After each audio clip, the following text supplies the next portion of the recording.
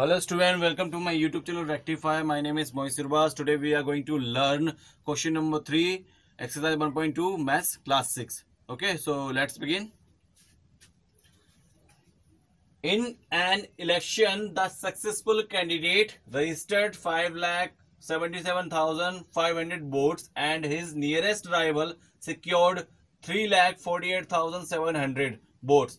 Why what margin did the successful candidate win the election? Okay, so first of all, we will give our attention on what information given in this question. Successful candidate got votes 5 lakh 77,500. His rival candidate got votes 3 lakh 48,700. What we have to find?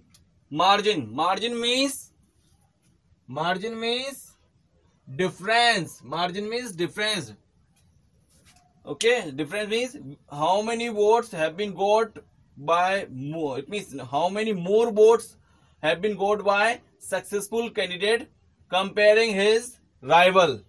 Okay, so we have to find out. So in this question we will use subtraction method. So let's do it. 0 minus 0, 0 will come. 0 minus 0, 0 will come. Uh, here is 5. 5 is lesser than 7. So we will take 1 carry. 15 minus 7. 8 will come. Here is 6. Okay. So we will take 1 carry. Here uh, after taking carry it will be 16. 16 minus 8. 8, 8 will come. Here is 6 minus 4. 2 will come. 5 minus 3. 2 will come.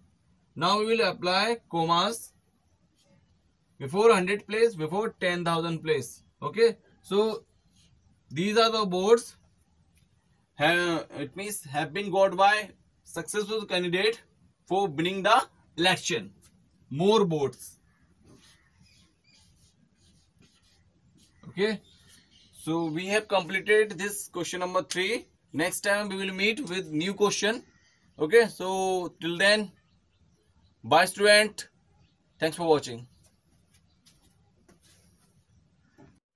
If you like my videos, please subscribe my channel by pressing subscribe button and also press bell icon to get information of my latest video